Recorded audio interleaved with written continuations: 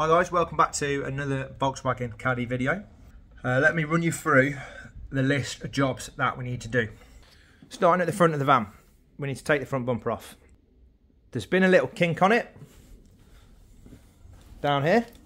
The light is not the best at the minute, but there's a little kink there from where we um, run into a speed bump. So we need to take the front bumper off and we need to straighten that kink out using a bit of heat. While the front bumper's off, we're going to get the bonnet up, get the front grille off. We might have to get the headlights out and we're going to look at the damage that's underneath. So I smashed this into a speed bump. I've said I've mentioned it before. Um, I had to replace the sump, so we're going to check that out. We're going to see what other damage has been caused. I know that the van is leaking coolant somewhere, there's a very, very small puddle of coolant on the floor when I drive this van off, off out the garage. Um, and I keep getting, I keep having to top it up and I keep losing coolant. So we're going to find the coolant leak. I've bought a tester kit for that, so we're going to run through that. It's also got a boost leak. So we're going to find the boost leak somewhere, hopefully, um, and we're going to get that sorted out. I, I believe that's all been caused by the speed bump damage. Um, and we're going to check exactly how much is damaged and how much I need to replace underneath um, because I haven't really had a chance to look yet. And also, while we've got all that off and we've got the front end off, we're going to finally replace the ABS pump, which I've had for months and months and months and months and months. So we're going to replace that as well. That's in there somewhere. So we're going to replace the ABS pump. We're going to check for the boost leak, check for the coolant leak, and we're going to try and straighten the front bumper out again. While the bumper's off, we might fill it and smooth it and get it ready for paint as well because it's going to have to get painted pretty soon. So without further ado, we're going to get the car up in the air, get the front wheels off, get the front bumper off and possibly the headlights. But yeah, let's start stripping it down.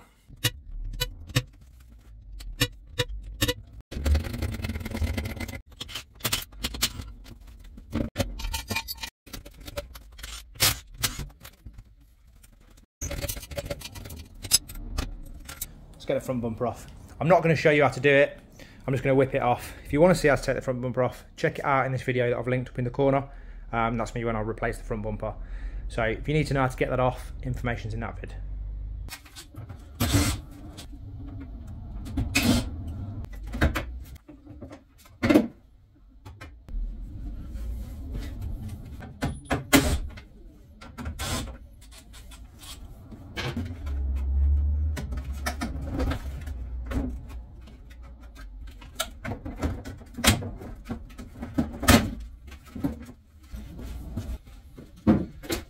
So I've touched on it in a in a previous video before. Um, I had a little incident in this, and we can see immediately the results of that. So I was going along, my business, and came up to a speed bump. Hit the speed bump a little bit too fast. I wasn't speeding, but the um, obviously the van's lowered, and the bump was quite severe.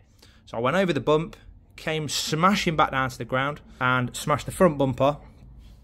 I smashed the sump, because as you can see, that one's brand new, completely disintegrated the sump. There was a huge crack there, like a massive gaping hole. So we had to replace that. Bit of a fiasco in itself. Van got left on the side of the road because obviously we couldn't drive it. So I was very, very close to where I work. That's in fact where I was heading. So I managed to sort of limp it to where I worked.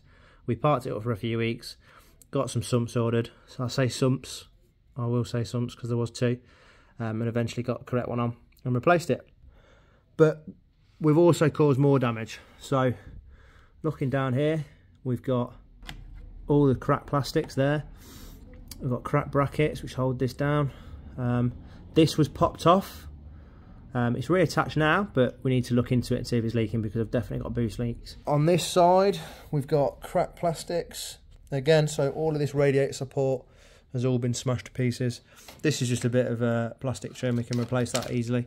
But we're going to need a new radiator support by the looks of it. Now, they're not cheap. I can probably leave it as it is, um, but I don't want to leave it as it is. I want it to be right and I want it to all be there. I don't want broken radiator supports.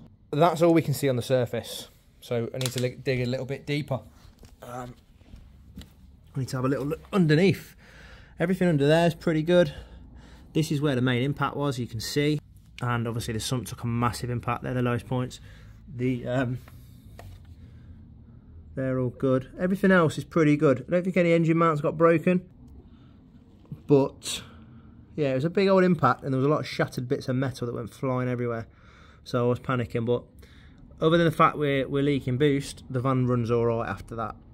Most of this oil that we can see here is from when the incident occurred. It's obviously sprayed out the bottom, gushing everywhere. So I know it looks bad, but if I jet washed it down a little bit, um, it'll be gone. Scuffs on there. So this hit the ground a little bit. We've got scuffs there, look. So the, that's been ground away. That bolt's been ground away.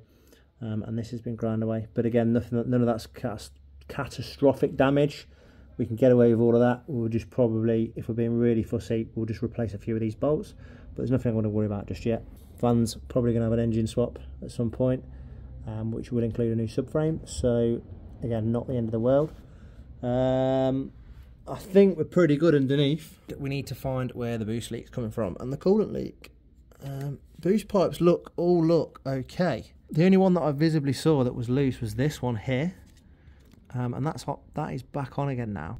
That one's all on, that one's on. So we just need to check for, for cracks in plastic really. Um, and check some of the top pipes. Looking at the top of the engine, on the whole, it all seems there. There's nothing that's screaming out to me it's being broken. I'm going to have to check sort of all these plastic connections. This is obviously um, turbo as well. We're going to need to obviously check all the plastics on this. They could have snapped anywhere. Yeah, I, I don't know really. Um, it's just going to be a little bit of fault finding. And then we're also going to take the battery out and get down there to the ABS pump and change that. Hopefully clear some codes on the dash, finally. So without further ado, is that okay? Yeah, that's all right. It's just the, the plastic, the clip's broken. The actual wiring's fine. The other thing we're going to do today is um, we're going to check for a coolant leak. So at the minute, coolant level is probably below. See if I can get this off. I know when I start the van, I, I get coolant warning. Some pressure in the system there. So we do, oh, we do have some coolant in there. See the blue in there, which is good news. So I've got a kit. I bought it on eBay. Hopefully I've got the right adapter for it. So it connects to that. You screw it on. You pressurise the system in in order to get it up to what would be sort of how it is at running temperature. Because obviously we don't want to be testing cooling systems at running temperature because someone's going to get injured, you're going to burn yourself, you're going to do some damage to your engine. So we're going to pump it up to as it would be if it was running. We're going to be able to look underneath the van. We're going to see if we can see any obvious leaks from anywhere. So that's probably going to be our first job. I'll get the kit out. I'll show you what it looks like and I'll connect it up to that. So here it is in all its splendour. Was £50, roughly there or thereabouts, 48 quid. There are others that cost more, there are others that cost less. Obviously, the ones that cost less have less in them. The ones that cost more have more in them. But they're all quite affordable. So this is what you're getting in the box. You've got all of these different nozzles, and these are for obviously different cars. So you've got the older style radiator caps here. You've got some adapters for those, um, and you've got all of these as well. I would hope. Got a little instruction manual tucked in there. Oh, it's tearing it apart. So this has got a list of all the applications on it and what which ones are what. So we are Volkswagen, so we're using number 9 I'm going to say, Audi A4, A5, A6, BMW, BMWs as well, Passats, Porsche Cayennes. Um, so hopefully number 9 should fit our radiator. Maybe Audi, that's earlier earlier Volkswagens. We've got the Fords, we've got Mercedes. Obviously, there are more, so let's get number nine out. Where's number nine? Just there. I'm going to take it over to our radiator. And it should screw in there if we move that out of the way. So we'll get that undone, just a 10 mil bolt. We'll get that moved out of the way and we'll screw that into there.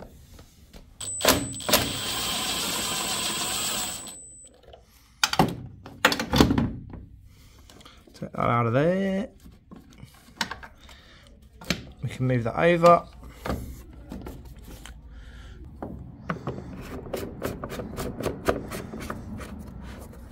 Yeah, screwed in there nice and tight. Sorted. And we've got this hand pump. Get this out. So that end will push fit onto your um, your connector on top of the radio cap and then we'll pump the pressure up. Instructions do say pump it up between 15 and 20 psi. It's obviously a Chinese translation, it's not the best reading through it, but we'll pump it up to 15 to 20 psi. That should be operating temp um, operating pressures. And then we will check the gauge. We'll be able to see how fast it's going down, if at all. Then we'll look underneath the van and see if we can find the leak.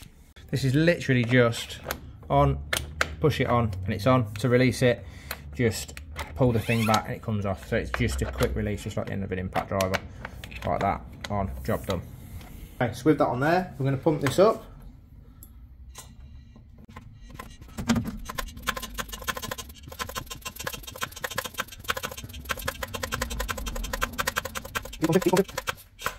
We're going to get it right into the middle between the 15 and 20.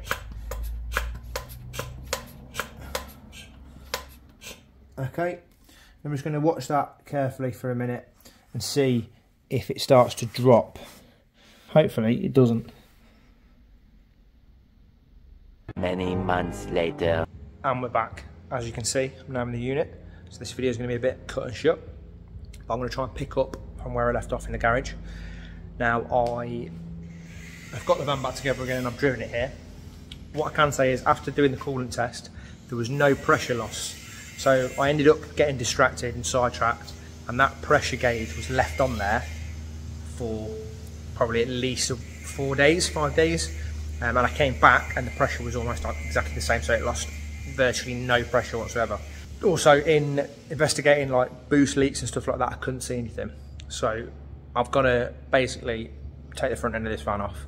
I've got to get the turbo off it, inspect the turbo and probably replace the turbo. And I'm going to look a bit further into the coolant leaks. I think it's my EGR cooler because it's had an EGR delete, uh, but the cooler's still there. It's plumbed in, but I've known, I've heard that that is a possible leaking point. So I'm going to take that off anyway because it needs to be removed.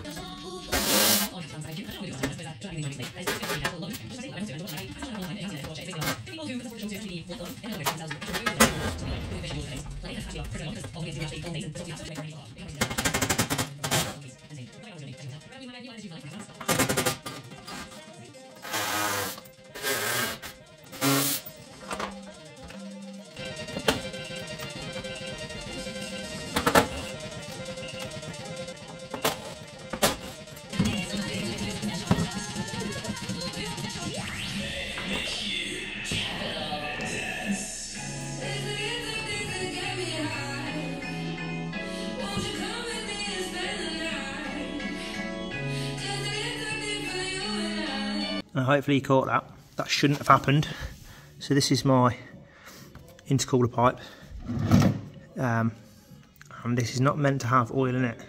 So you do sometimes get a bit of residue and there, there is occasionally a little bit of oil, but that completely pissed out of oil there. So that is a clear sign that the turbo's basically overspinning. Um, and it's not it's not creating any pressure, it's not creating any boost pressure, it's just it's just shooting oil free. Um, so I wasn't expecting that, as you might have guessed. It does sort of lead to the turbo again. Um, I was going to use this pan originally for the coolant. I still will use it for the coolant um, because it doesn't matter. I'm going to chuck it all away anyway. So um, yeah, I'm going to drain the coolant out of the radiator. I'm going to take the radiator off because I've got all this broken shit. This whole shroud is broken. So that's all going to come off. I'm going to remove this. Keep the radiator's fine, um, I've got to get rid of all this.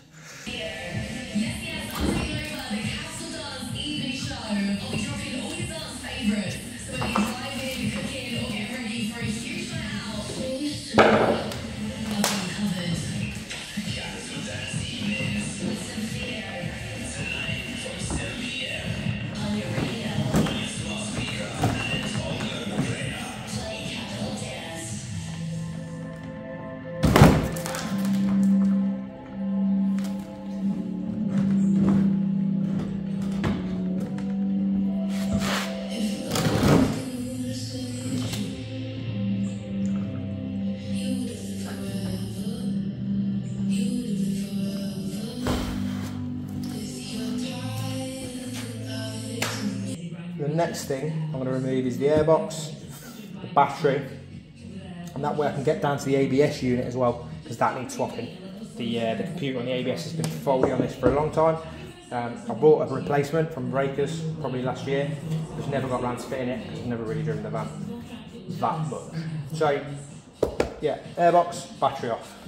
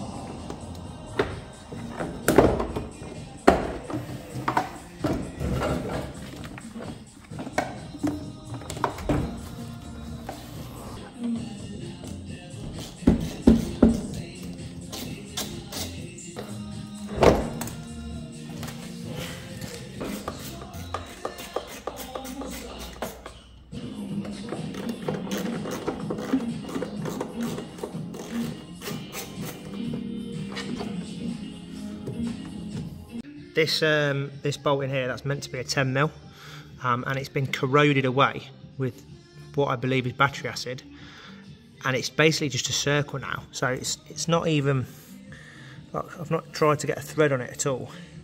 It's just a straight circle so um, using mole grips. I mean it's not the tightest bolt in the world I hope. So hopefully with some mole grips on it I can get that out but that is yeah it's, it's just seem to have just eating itself away to the point where it's now like more of a 9 mil. In fact, I will try and get a 9 mil on it.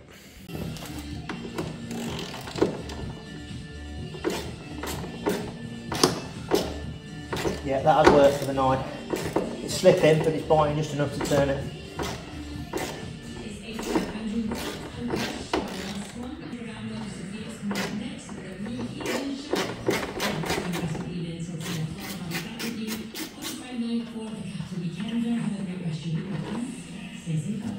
Going to have to get replaced.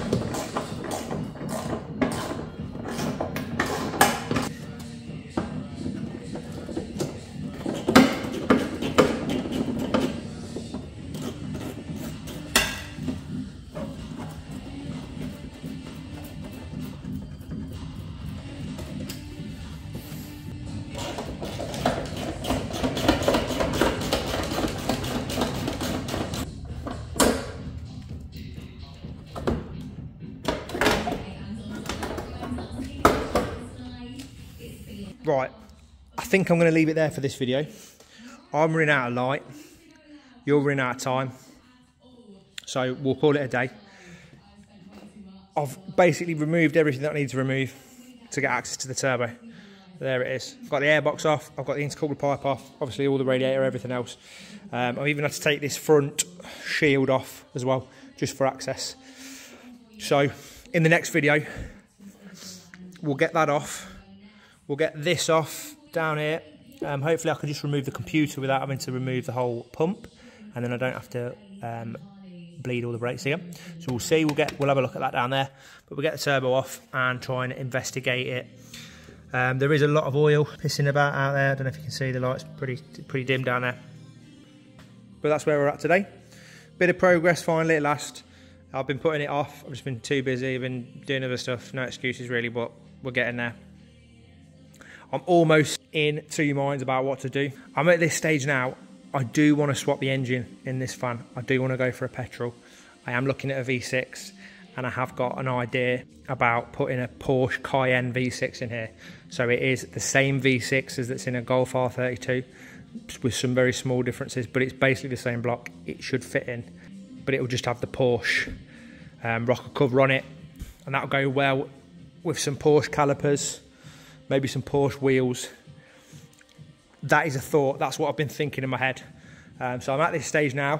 We maybe just rip the engine out and get a cheap Porsche Cayenne that's maybe had a crash or that's just knackered, gearbox is knackered, and we take the engine out of it and we put it in this. Gearbox we'll have to source, we'll probably have to get like a Mark 5, Mark 6 GTI gearbox. We can sort that out. Let me know what you think in the comments. Should I try and replace the turbo and just get this running again, or should I just go full send, engine out, and new one in? Thanks for tuning in. Thanks for watching this far if you got this far. And please stay tuned, stay subscribed if you want to see more on this fan. We will get there.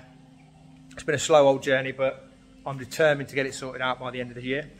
I want it painted, I want it running before the end of this year, mainly because I don't want to be driving that through the winter because I've got some plans for that as well during the winter. So stick around. The videos are going to be coming thick and fast. We're in the unit now, we've got the space, we've got the time. Um, so we're going to get working on this. So yeah, join me for the next video. Uh, I'm going to tear that apart even further, get all the um, the dodgy bits out. Hopefully, if it's an easy fix, we'll fix it. If it's not, maybe maybe we'll swap the engine. Who knows? But yeah, thanks very much if you got this far. Please give the video a like if you liked it, and I'll see you on the next one.